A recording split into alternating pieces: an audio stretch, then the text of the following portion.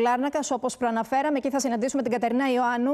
Καθώς Κατερίνα, οι πρώτοι Κύπροι από το Ισραήλ έχουν καταφθάσει ή καταφθάνουν.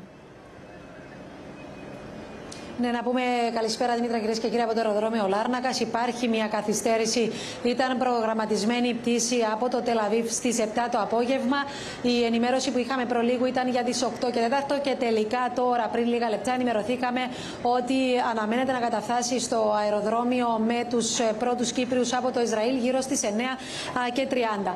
Να πούμε ότι εδώ στο αεροδρόμιο Δήμητρα υπάρχει έντονη κινητικότητα όσον αφορά τα μέτρα ασφαλείας. Είχαμε τέσσερις εκτροπές ε, πτήσεων το πρωί που είχαν προορισμό το Ισραήλ, ενώ είχαμε και δύο πτήσεις οι οποίες ακυρώθηκαν και ήταν προγραμματισμένες από Λάρνακα για Ισραήλ λόγω ασφαλείας. Κατά τα άλλα, το πτυτικό πρόγραμμα παραμένει ως έχει τουλάχιστον ε, για την ώρα. Είχαμε και μία άλλη προσγείωση ε, το απόγευμα από Ισραήλ.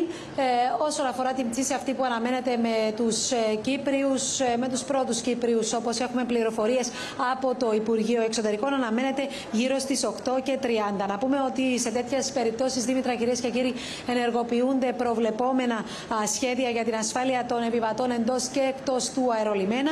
Ενώ η παρουσία, καταληκτικά έτσι, η παρουσία της αστυνομίας εδώ είναι ιδιαίτερα αυξημένη για την εύρυθμη λειτουργία του αεροδρομίου. Μάλιστα, Κατέρινα, σα ευχαριστούμε για το ρεπορτάζ. Καλό σου βράδυ.